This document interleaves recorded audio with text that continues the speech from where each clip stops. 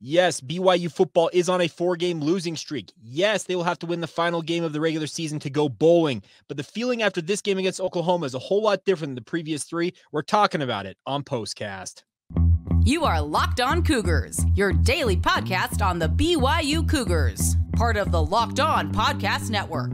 Your team every day.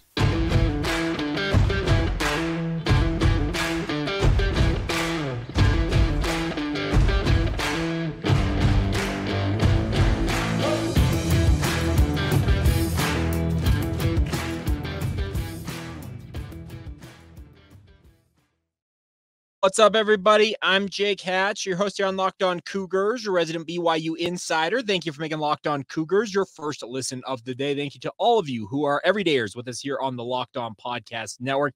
And a quick reminder that this is your original daily podcast focused on all things BYU, mainly focused on BYU football and basketball. We cover it all. And this is a special edition postcast as BYU falls 31 to 24 to the number 14 ranked Oklahoma Sooners. You heard that right. BYU battled their hearts out. They end up falling by seven in this game.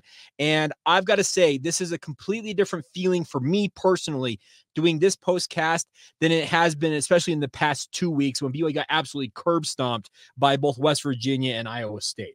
BYU uh, just sucked it up today and found some pride, found some gumption, found some grit, found some I don't know, some want to uh, is one thing that Kalani Sitake has talked about in the past couple of weeks. The want to, the desire for his team to go out there and uh, try and will their way to a victory. Well, had they not turned it over three times and had all three of those turnovers cashed in for touchdowns by the Oklahoma Sooners, the Cougars very well may have done that. So that's why I feel different about this game for BYU. Yes, they're on a four game losing streak. Yes, they are below 500 on the season at five and six. They are two and six in uh, Big 12 play in their debut season as members of the Big 12 Conference. But BYU stood toe to toe with the 14th ranked team in the country, the Oklahoma Sooners. And like I said, had it not been for a couple of really rough turnovers, one in particular, just an uh, ill advised, uh, you can't have it, 100 yard pick six for Oklahoma. BYU very well may have come out on top in this game and talk about like reigniting some belief in this team had they been able to pull off this victory. So, as we do on postcast, talking about the positives, and we'll get to the bad here in just a moment. But the nice part was it was good to see Jake Retzlaff in particular bounce back from an absolutely horrendous performance against Iowa State. Quite frankly, he was 10 of 27 passing last week. This game, he uh, improved that to 15 of 26, 173 yards, two touchdowns, and of course, the aforementioned one interception. He did also have two fumbles in this game that we'll get to here in a moment. But I really, really thought that he held held himself together and held BYU together in some key spots.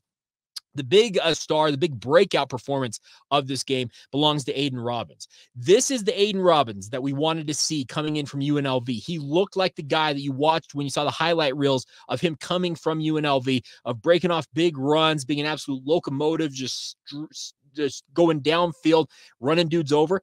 He ends up with 22 carries, 182 yards, averaging 8.3 yards per carry in this game.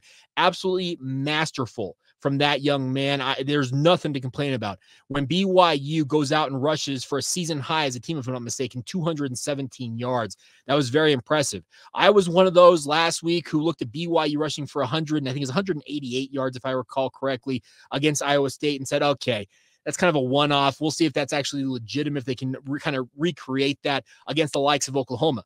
Well, they surpassed that 217 yards rushing, averaged 5.7 yards per carry, far and away BYU's most effective day on the ground. The offensive line looked very, very good, all things considered in this game. I was very impressed with Connor Pay, Kingsley Suamataia, uh, Paul Maile, Weylin Lapuaho, and Braden Keim. They were the five that made up the offensive front uh, for BYU in this game. And uh, it was a really, really encouraging performance for BYU to get off the deck. This is a program, remember, we've talked about this the past two weeks, that looked left for dead. They had felt like they had given up on the season. I talked about uh, the feeling both in the pregame show I do for the KSL Sports Zone, uh, the station that I work for here in Salt Lake City, as well as on the podcast about the fact that I was just, uh, I was afraid that BYU had kind of essentially melded in the season or they just, they're over it. They were like, okay, okay, you know what? Whatever, we're over it. It was good to see the Cougars bite back. I guess is the easiest way to fight back and uh, get back into this game. Now, Dillon Gabriel uh, suffering a head injury uh, in the first half and not coming back out for the second half. That did help BYU's cause. But even before he went out of this game, BYU was going toe to toe with this Oklahoma Sooner squad. Uh, Gabriel finished 13 of 21 for 191 yards and two touchdowns before he left uh, in the game. Jackson Arnold came in and was a, a five for nine for just 33 yards. So ended up 224 uh, passing yards for Oklahoma. And BYU's rush defense until the final quarter and even the kind of the back half of the fourth quarter, BYU's rush defense had been very, very good in this game. They limited Oklahoma on the day to 34 carries for 144 yards, 4.2 yards per carry. And I'd venture to say 60, 70% of that felt like came in that final quarter when Oklahoma was able to salt the game away. So encouraging performance for BYU. Is it enough? No, because they did not get the victory. BYU ends up with 390 total yards. I thought it was inevitable that BYU is going to get to the 400 yard plateau, somewhere they have not been all season. Now, 11 straight games without going over 400 yards in a single game this season. I thought it was inevitable, but I was encouraged by the fight, the want to, the determination that BYU was going to go down swinging in this game. It was encouraging to see them do that. Now they will have to recreate that and take that on the road, which has been a big problem for BYU this season in terms of road victories outside of the Arkansas game. Uh, you've got to take that same type of effort, even better probably, and take that on the road when you go to Stillwater next week. A couple other standouts I wanted to mention. Cody Epps, good to see him back 100%, six receptions, 90 yards, leading BYU in both those categories. Good to see him back out there and doing his thing for BYU. And then on defense, got to give a big shout out to Talon Alfrey, uh, Talon Alfrey, excuse me, not Talon, Talon Alfrey. Let, leads BYU with 10 total tackles in this game. And he was, a, there's a reason why Talon Alfrey in training camp, before he uh, suffered the broken collarbone that he had, uh, there was a reason why he was a starting caliber safety for BYU. He's got all the talent to be that, and it's good to have him back out there 100% healthy. He did get, a, get up a little bit gimpy at one point uh, during the game, but good to see him get back out there. Max Tooley in his final game as a Cougar was second on the team with seven total tackles, had half a tackle for loss, as well as a forced fumble. So uh, good to see Max Tooley having a good day. And then also Crew Wakely, seven tackles in his own right, one pass breakup. AJ Vongphachanh as well uh, with six tackles, uh, one and a half tackles for loss. So a lot of guys playing in their final games at BYU in the senior day would have liked to go out with the victory, but good performances all the same that they can point to. Now, where did it all go wrong for BYU? Well, there's a few different places, and I, I'm, I'm not going to absolve the coaching staff on a couple of these, and we'll talk about that as we continue on right here on Locked On Cougars. Now, a word on our friends, real quick though, on our uh, over at Perry Homes. Of course, Perry Homes is our good friends. Been working with us for many, many months now. A local sponsor of ours. Whether you're looking for your first home or you're ready to upgrade to your dream home, Perry Homes has a house for you. For 50 years, Perry Homes has been Utah's premier home builder with communities throughout the state. They have many communities, home designs, and price points, all designed uh, to meet your needs as a home builder. The best part is they have beautiful communities in Davis, Salt Lake, Tooele, and Utah counties all along the Wasatch Front, no matter where you want to live there, or multiple communities as well in Washington County near St. George if you want to go down to Red Rock Country and live down that way. They offer over 50 unique home designs from ramblers to two stories to townhomes. And the best part is they are offering generous financing incentives through their preferred lender as well to help you guys out a little bit on that end uh, as you go through the home building process. So visit Perry Homes Utah to see what's new in Utah's finest neighborhoods. That's Perry, P E R R Y, PerryHomesUtah.com to learn more now. For 50 years, Utah has been coming home to Perry Homes. Thank you once again for making Locked On Cougars a part of your day. Thank you for making it your first listen. And of course, uh, being everydayers with us here on the podcast. All right. So the bad for BYU in this game. Well, uh, first off, why in the you know what uh, was an RPO option even given uh, to Jake Retzlaff on what ended up being that 100 yard pick six for Billy Bowman Jr. Uh, no offense to Jake Retzlaff, but the fact that the coaching staff even put an RPO call on the field is just abysmal in that circumstance. Uh, it was good to hear Aidan Robbins speak after the game, and he talked about the fact that he's it is what it is when it came to the decision not to give him the ball to cap off that drive. Let me translate that for you. Give me the bleeping ball and let me punch it in for a touchdown. That's the translation that uh, reading between the lines, in my opinion. Uh, I'm Aaron Roderick screwed up hard on that one. There were other coaching malpractice type stuff that happened in this game. When you're in a close game like this, you can't just be calling timeouts willy nilly at any point in the game. There was a, a critical play. It felt like in the thir- in the third quarter that BYU called a timeout on. When you have liked to have had that in your back pocket, Kalani Sitake, uh, when it came uh, down to the final two minutes when you needed to get a stop. The other thing about this is why in the world did BYU go for it on fourth down so often early on in this game, and then late in this contest, and you all of us could see it. BYU's defense is starting to wilt under the pressure that Oklahoma was putting on them. He decides to punt the football away and give the ball back to Oklahoma. Therefore, and it ended up with Oklahoma salting this game away. Coaching is just as big of a problem for BYU this season as any of the on field issues have been for BYU. Now, some of you have sent me messages thinking I'm a little bit too much of an Aaron, Aaron Roderick apologist. I, I understand that. I have been a defender of A Rod in terms of his play calling and whatnot. Today, there were some very, very undefendable calls and none bigger than that pick six. That was a 14 point swing. You had essentially give the ball to Aidan Robbins, let him punch it in, take the lead, and who knows what might have happened in that circumstance. And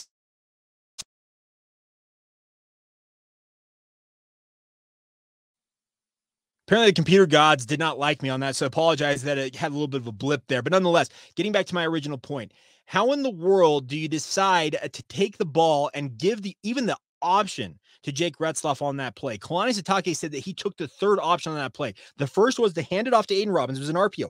Hand off to Aidan Robbins. Run it in yourself was the second option for Jake Retzlaff. And what does Jake Retzlaff do? He decides to take the third option that shouldn't have ever been given to him in that circumstance. And he sees a hot route. He sees Cody Epps. Uh, essentially, the way that the defense was uh, lining up, they were late getting into formation. But Billy Bowman uh, absolutely read it perfectly, breaks on the ball. He knew it was coming that way, and he picks it off and off to the off to the races. And Jake Retzlaff, by the way, nearly chased him down. So I'll give Jake Retzlaff credit for uh, just absolutely putting his heart and soul into trying to chase him down after that play. But you cannot, as a, as a, as a coaching staff, you cannot put an inexperienced quarterback in that circumstance.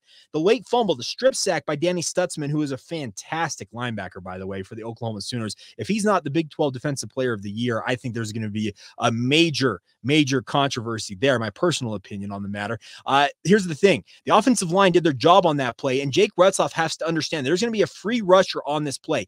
Get the ball out of your hands. As he mentioned in the post game, he held on to it. That is inexperienced quarterback play that absolutely crippled BYU because he's unable to hold on to that football. Oklahoma gets it back and they cash that win in. The three turnovers that Oklahoma had all cashed in for touchdowns.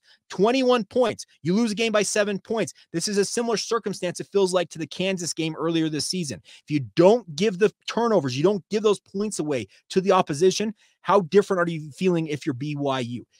There are there is blame to be had for the players in this uh, game. Obviously, for some of the miscues. Obviously, Jake Retzlaff with the three turnovers, they were all cashed in for points. But I, I I cannot defend Aaron Roderick calling that RPO on that play. Your rushing attack got you down the field. Let them cap it off. Kalani Sitake said this was not the Marshawn Lynch, the beast mode incident that the Seattle Seahawks had in the Super Bowl. It was supposed to be a run play. You're supposed to run it in for a touchdown. Why in the world was even the option there for Jake Retzlaff. Now, the only way I see this uh, being absolved off of Aaron Roderick and Kalani Sitake's shoulders is if Jake Retzlaff uh, essentially he went rogue and called his own number on that play and essentially kind of signaled out to Cody Epps that we're doing this instead. I don't think that was the play call, and it's it, it's indefensible. You cannot defend that play calling in that circumstance. So yes, I am going to be critical of Aaron Roderick in that circumstance, but just you can't. The coaching has been Uh, when BYU's kind of been competent at points this year, the coaching at times has stepped in. We've talked all season long. You guys know who've been listening to this podcast, who are everydayers with us. You know how I've talked about the fact that if it's like it's not like one thing for BYU, it's something else. Well, guess what? The coaching does not get a complete absolution out of this. They have had their own woes when the players seem to be doing the right things. Sometimes the coaches have taken it out of the players' hands themselves. And in this circumstance, I'm laying that 100 yard pick six at the feet of Aaron Roderick. And it, I don't know. It, it, it's it's really, really tough to stomach because how incredible would the feeling be for BYU to have knocked off the number 14 team in front of a very, very raucous crowd? Got my problems with The Rock. The student section is as fickle as any fan base out there in in uh, in amongst the BYU fans. The fact that they couldn't even fill up what two thirds of the student section during that game uh, against Oklahoma, that's an indictment on BYU students. So come at me, Rock, if you want to, but that was pathetic. The rest of the stadium was chock full. I was there. I saw it. But the student section over there, wide swaths of open seats. Uh, it's unfortunate because that shows how fickle, how fair weather the BYU students are, turning their back on their fellow classmates. That's indefensible in its own right. So tough, tough loss, loss to stomach if you're the BYU Cougars. And like I said, I, I, I, I maybe I do come off as a little bit of an apologist for Aaron Roderick, but in that circumstance, you take that play out of the quarterback's hands and you say, you either run this in yourself or you give it to the running back who got us into this position on the two yard line and let him cap it off. And I, I I'm telling you that it is what it is. Comment from Aidan Robbins. My translation is, yeah, give me the bleeping ball and get out of the way because he wanted nothing more than to cap off that drive with a touchdown and to have that go from what looked like a ready-made a seven point uh, touchdown for BYU and essentially a 14 point swing in the blink of an eye oh man, that that that one will grind my gears. That will stick with me uh, for quite a while. All right, uh, we will let you guys have your say. I threw it out on social media, on Twitter in particular, after the game. Let you guys have your say. We'll roll through as many comments as we can as we can in the time remaining. Before we do that, though, let's get a quick word in on our friends over at UCCU. Learn and Earn is the UCC mobile banking app's new feature that is paying your entire family to learn about money. We all be we all want to be smarter when it comes to our money, and with financial literacy uh, being a more in vogue topic. That's where Learn and Earn steps in, is broken down financial topics into fun, bite sized educational games like quizzes and trivia. Every time a family member completes a topic, they earn points that accrue and can be redeemed for gift cards to stores like Amazon, Apple, Sephora, Walmart, Nike, and many, many more. There's age appropriate content for every member of the family. You can compete against one another and track your progress on leaderboards. And more importantly, uh, you can, uh, it's all available inside the UCCU mobile banking app. So you can play it anytime, anywhere. Of course, the more you play, the more you learn. And the more you learn, the more you earn. Simple as that. Learn and earn, part of UCCU's award winning Be Money Smart Youth Banking Program, helping kids, teens, and parents have fun while becoming more financially literate together. It's all courtesy of UCCU. Love where you bank. Thank you once again for making Locked On Cougars your first listen of the day. All right, it's your guys' time to shine. Let's throw it up. We'll share the screen here and uh, throw it over to the Locked On Cougars Twitter feed where we uh, seem to uh, always go in the post game. Let's see, share screen here. Let's throw this up here and let you guys uh, see what's going on uh, from your fellow uh, BYU fans. I'm going to go make it go full screen here so you guys can see it all. If you're watching this on YouTube, we'll re- roll through these comments. So I threw out the question tough, hard fought loss for BYU today. What did you take away? Of course, Jacob C. Hatch will have a podcast podcast, a postcast or a podcast for you guys later on. Uh, Bergmaster, uh, Bergmaster one says much better than last week. Turnovers killed us. All three resulted in points. One should have been running the ball into the end zone. You're right. It, it's indefensible. You should have been giving that ball to Aidan Robbins. It, it's it's sad that that was uh, how it all went down, but nonetheless. Uh, next one, Paris Preston. I wanted to come up with something clever to say. However, like our offense, everything I've typed has also come up a yard short. Ooh, there you go, Preston. I like that. Uh, Jordan Hewitt, Sheng Jiao says, uh, hard to overcome three turnovers. Retzlaff showed pl- uh, flashes of a promising future, but it still makes rookie mistakes. Everyone played with a ton of heart. Hashtag go Cougs. Now, I will say this that was just the third career start for Jake Retzlaff. So, the hope is that he will continue on a kind of an ascendant plane and uh, really build towards potentially being the QB1 next year. Uh, I'll also say this I don't see how BYU changes out quarterback going up against Oklahoma State. The rushing ability of Jake Retzlaff alone has opened up this BYU offense so much. I just don't see any any possible way you can flip back over to Kedon Slovis. If they do, I think that is yet another mark on the the coaching malpractice that is uh, marred uh, some of the season for BYU. You just can't do it, in my opinion. I, I love uh, Kedon Slovis. He's been a very, very good representative of BYU, but at this point, at this juncture, you cannot, you cannot uh, take Jake, Jake Retzlaff off the field. Uh, I think that would be just a, an abysmal decision to do that. All right, JT Lamro, BYU actually has some fight in them. I just wish this would have come sooner because this team easily could be in a bowl game. Two major turnovers by Retzlaff, actually three of them, uh, was the difference. Hard to put it on the guy, but hope this game both bodes well for him next year if he is the QB of the future. That's a very, very good point, JT Lamoureux. Uh, it appears that he is going to be the QB of the future, but yeah, you want to see improvement from him. Uh, it, it, it's tough because those are those come with uh, the the growing pains of a young quarterback. Have stuff like this happen. To have it come up in this type of a game where was so close, so hard fought, it's doubly st- uh, tough to stomach. So that's really tough to do. All right, Royal Strong and True at Healy Bombs is way better than football, way better football than the last four games combined. Aidan Robbins showed true grit and ability. Jake made a lot of good plays and a few bad ones. If one of those turnovers could have gone the other way, it would have been a different story. Uh, we, speaking of BYU, did have our chances to win it. I agree, BYU had their chances none bigger. I'm, I'm telling you, I'm stuck on that pick six. That's a 14 point swing in about five seconds. And it's just crazy uh, that that's the way it went down because you punched that in. And BYU, by the way, never actually led in this game. Had they punched that in and taken the lead, how different uh, does BYU play the rest of the way? They're probably playing with all kinds of confidence. The crowd is absolutely electric, which it was electric most of the day, even though BYU never took a lead it would have just been that much more haywire. So it would have been fun to see that. All right. Alan Kirby says it would have been more frustrated if they had chances to win. But after sitting through the game last week, I'm just glad that BYU competed. Yeah, I've got the bar set low, it seems. I don't think you're wrong in saying that, Alan. A lot of fans, yours truly included, as a media member, I didn't have many hopes for BYU in this game. This is Oklahoma. They're ranked 14th in the country. This is a BYU team that barely looked competitive against both West Virginia and Iowa State. How much could BYU really uh, be ready for in this circumstance? Well, they show that they have heart. They have that want to. It was good to see that. Uh, Jeff Henor, it's hard to. I was too hard on Slovis. Retzlaff cost us the game more than he won it for us at times. If Slovis isn't ready next week, I'm all for Cade Fennegan getting the start. Jeff, I love you, my friend. I know you, you've been a long time and loyal listener. You do not go to Cade Fennegan. Sorry, Cade Fennegan ain't it for BYU. I think you stick with Jake Retzlaff because I thought he showed signs. And if he can just cut down on those turnovers, uh, it looks like he has got a path to being a pretty competent starter for BYU at minimum. All right, uh, Scott Nelson at S underscore uh, W underscore Nelson. Such a frustrating game. This is the team I expected in the middle of the year, not going to win every game, but good games. And what is up with the equipment? Somebody should know how to kit out a home game.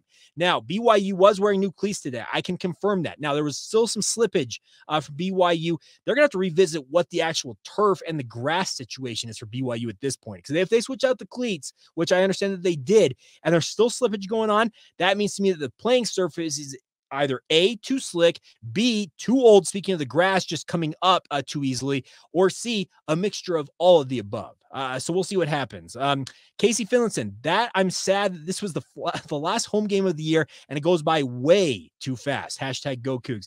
It does, does go by super fast. The fact that this is the penultimate uh, weekend of college football's regular season, I'm I'm in I, am in a I'm in absolute denial that that is the case, but nonetheless, uh, that's where we stand. Uh, Mojo, our good friend, uh, serving our country as an Air Force pilot, some suspect play calling the second half, but at the end of the day, you can't have that many turnovers against a team like OU and still expect to win. We beat ourselves, can still get to six with OSU next week. Yes, you can still win. the The one thing about this is I feel like BYU is fighting because they know that they are running out of time to get to that sixth win. Now, they obviously will have just the one game to get it right against Oklahoma State, but I think it would have been a different circumstance had BYU already been uh, eliminated from bowl eligibility. Obviously, they're playing for the seniors as well.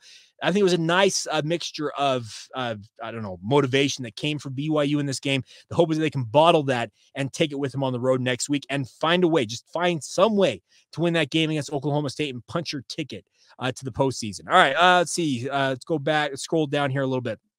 Uh, Matt M Staples five. At least there is some, still some fight in the team, and we aren't completely broken. The hard part is anytime we had momentum, we turned it over. Yeah, there was multiple circumstances where it felt like BYU was getting momentum, and they would just fumble it right back or throw an interception. They just they would give it right back to Oklahoma. You got to learn to get out of your own way uh, if you want to win football games. And BYU could not get out of their own way in this one. All right, um, other ones. BYU four Trey a playoff bogey. Jake Retzlaff just needs to take care of the ball. Twenty one points off of three Retzlaff turnovers. BYU wins this game if they don't have those turnovers. Retzlaff looked a lot better today. Maybe the uh, future isn't quite so bleak at quarterback. That field needs to be upgraded. It is an issue. Yeah, I said you got to take a look at that now because if you change out the cleats and there's still guys slipping Obviously, you look and make sure those guys are wearing the new cleats. And if that if that is the case, yeah, the next thing you look at, you've got to look at the surface and figure out what is going on there. Uh, Zach Lavelle, if we could change a few plays, we would have won the game. Yeah, three particular plays, those turnovers in many circumstances, and the final two turnovers in particular. You can't give short fields to good teams. Good teams will punish you for your mistakes. Oklahoma, good team punished BYU. That's exactly what they did. Uh, Tyler Bell, don't make an idiotic decision on, to throw on the two yard line with a red hot running back, and we win the game. No doubt. You're absolutely right, Tyler Bell. Like I said, it's indefensible on that. Uh, let's see. Uh, Tommy, uh, for those who would have rather seen a blowout, don't be a loser like that. I, I, I agree. I really enjoyed this game, frankly, and the, the comment right below it, Nick Lee. Part of me just wishes BYU would have gotten blown out early instead of sucking me back in, only to keep me up tonight with 1,000 painful what ifs. BYU had this game and completely blew it. No moral victories in big boy football. Yes, there are absolutely no moral victories. It's win or loss. It's cut and dry. It's black and white. Uh, but here's the thing: you got to take some con- some you've got to be taking some confidence out of this game, thinking, okay, BYU's got fight. They've got some grit to them. That can help in terms of uh, chasing that bowl eligibility slot next week. Blair Red, everyone on the offensive staff should be on the hot seat. Blair, I that's a hot take right there. I appreciate that. Uh, the offensive staff is got to answer for some things because, like I said, you cannot you cannot give that uh, option to Jake Retzlaff in that circumstance. That's coaching malpractice. You got to give the ball to Aidan Robbins in that one. Uh, Captain Jack Coog jar underscore of dirt underscore twelve says, "A good hard fought battle. I'm not mad at Jake, but we lost the game because of him. I don't blame him because he's still learning, but the reality is reality, and sometimes." Reality sucks. I okay, I can see that absolutely. Uh, let's see. Uh, next one, life for Jazz. I take away that the team lacks discipline. They put forth effort, which is a huge improvement after the last four stinkers. But until this team gets disciplined leadership, they will always make silly turnovers or stupid mistakes. They should have won by 14. Bad coaching, bad team interesting life for Jazz. So you're a little bit down on them. I get that. Uh, let's see here. Uh, Giovanni, uh, Geo underscore Vani, I think that's what it says. Giovanni says if BYU ends the season six and six and Utah's seven and five or eight and four, which by the way, the Utes uh, did get absolutely uh, boat raced by Arizona earlier today. What are the chances to get a Holy War bowl game? I'm going to say not likely, but it's not out of the realm of possibility either, uh, Giovanni. Uh, let's see. Uh, Aggie fan Dan, our good friend uh, who's a Utah State fan, says, I have three takeaways fumble one, pick six, fumble two. Turnover margin, man. I hope my Aggies can beat Boise. The last time we did, we forced seven turnovers in the first half. Uh, here's the thing those turnovers, I- I've said this often on the podcast. You ever dares know this. BYU's 5 and 0 this season when they win win the turnover margin. When they are even or in this case they lose the turnover margin, 0 and 6. It's crazy how simple it can be at times, but that's what it is. Uh, why for life? I saw fight Aidan Robbins and some good O line play on run game. Still too many mistakes, and the defense sucked on third down. Yes, they have 50% uh, uh, conversion percentage uh, for uh, Oklahoma in this game on third down. You can't have that. It's still too much. But we kept it so much closer and we were in the game the whole time. That's great. It is a positive step. I agree. It is a positive step in the right direction. Now you got to go out and find a way to win games. So we'll see what happens.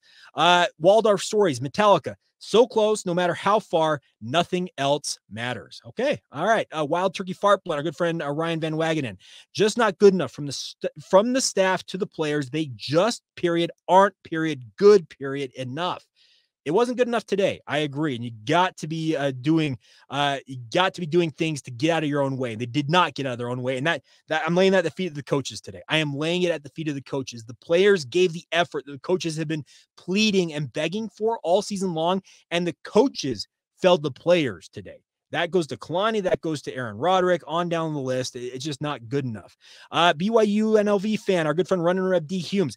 Give the ball to UNLV running back Robbins, and BYU wins easily. This is as angry as I've been in years. Go Rebels, beat Air Force. Which, by the way, UNLV did beat Air Force, and the UNLV Run Rebels are going to play for the Mountain West Championship. It looks like crazy, crazy stuff. So I don't know. A lot of the takeaways feel like they're kind of being repetitive at this point. Uh, Idaho Brand Slam at Brandon J. Fessler says, My takeaway I didn't know it's possible to feel both hope and frustration at the same time. Winking emoji. You're not wrong. It, uh, you, feel like frustration, the fact that they lost the way they get the way that they did. But after, like I said, some of the stinkers they've had earlier this season, it was good to see BYU fight and kind of just do their thing out there. So we'll see. Um, let's see. JP Snyder. These type of losses I can live with hard fought, mistakes to clean up with an inexperienced QB. I think that's a very well reasoned take there, uh, JP. Uh, let's see. Next one. Interesting because you use the word takeaways. That's it. That's why we lost. That comes from B Cook, a cookies, a cookies nine, I believe is how you say that, uh, B Cook. Uh, thank you for that.